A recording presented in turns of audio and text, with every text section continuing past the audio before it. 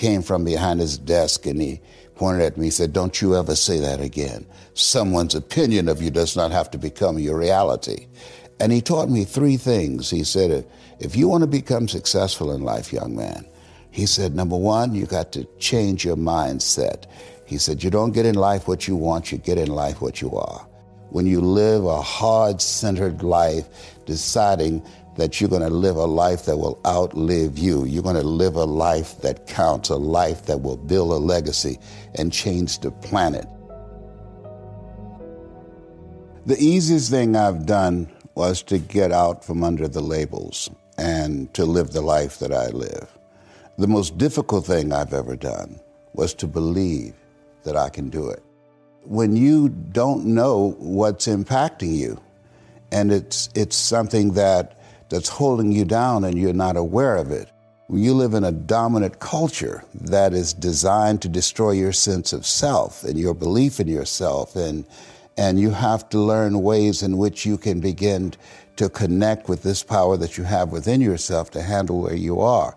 The key is to be constantly in a perpetual process of discovering the truth of who you are and fighting constantly to look for ways in which you can escape the inner conversation. I speak to audiences around the world, and I, and I train speakers as well, and I, I tell them that when you speak, that there's, a, there's an objective that you want to achieve when you speak to an audience, because how people live their lives is a result of the story they believe about themselves. So, you as a speaker, when you speak in this program, when people see you, what you do is distract, dispute, and inspire. You distract people from their current story with your guests and the questions that you ask.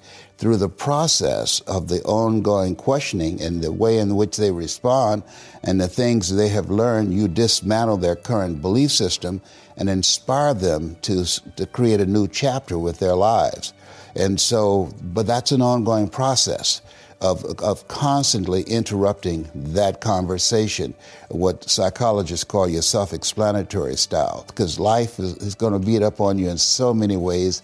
And many things, they come back, you know, negative thoughts and, and how you feel about yourself, they don't die. They, they come back once you stop doing the maintenance work on your mind listening to motivational messages, going to seminars and workshops, spending time quietly listening to the still small voice within. Uh, who am I really? Is this really me? Am I giving my best? Uh, am I just reflecting what's around me?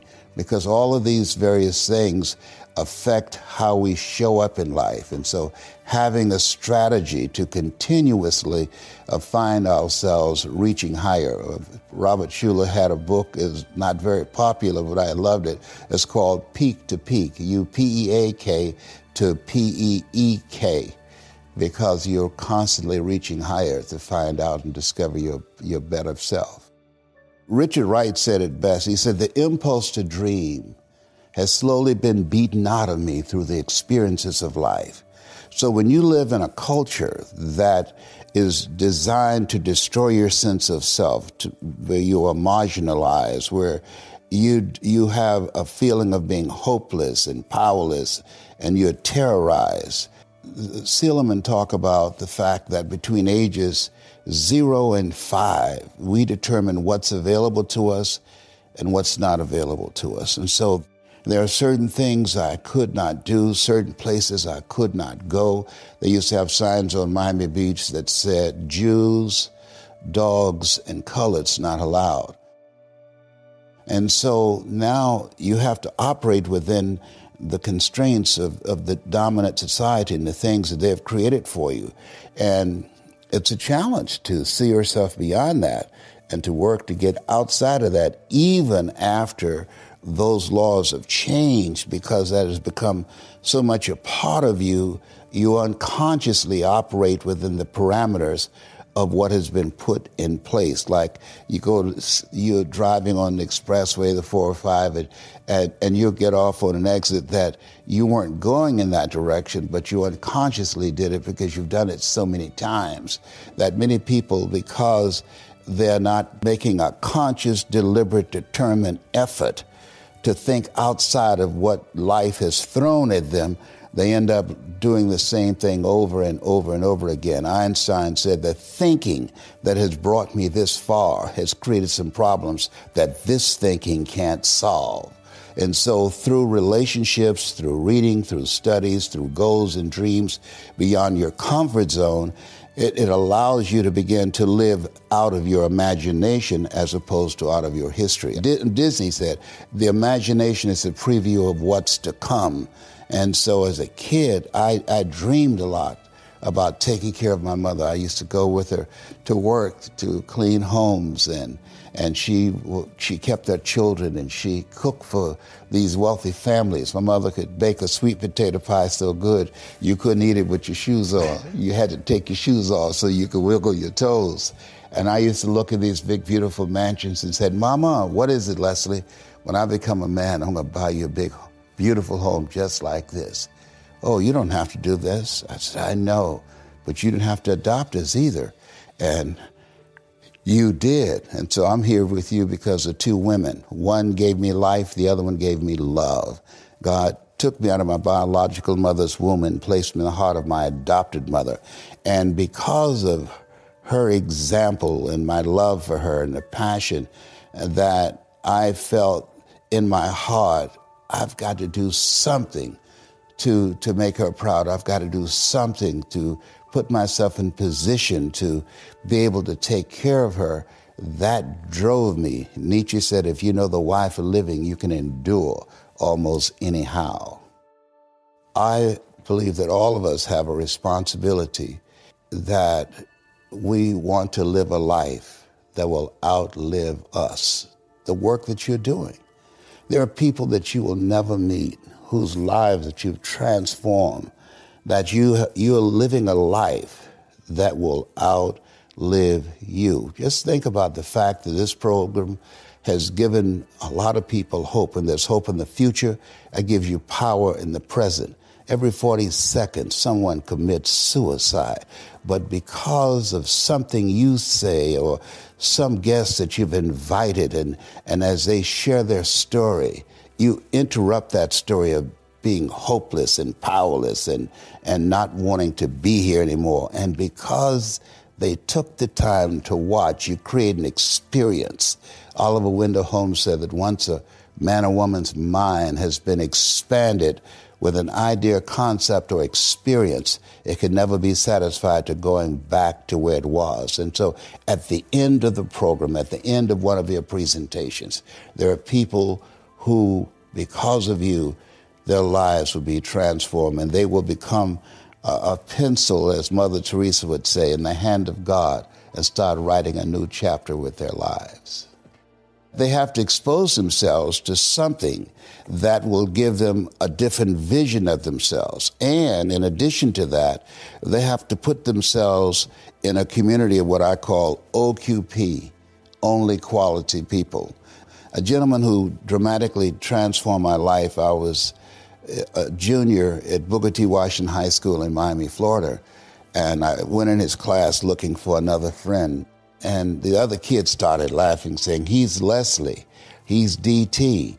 And he said, What's DT? He's his brother is smart, but he's the dumb twin. And and I said, I am, sir. And he came from behind his desk and he pointed.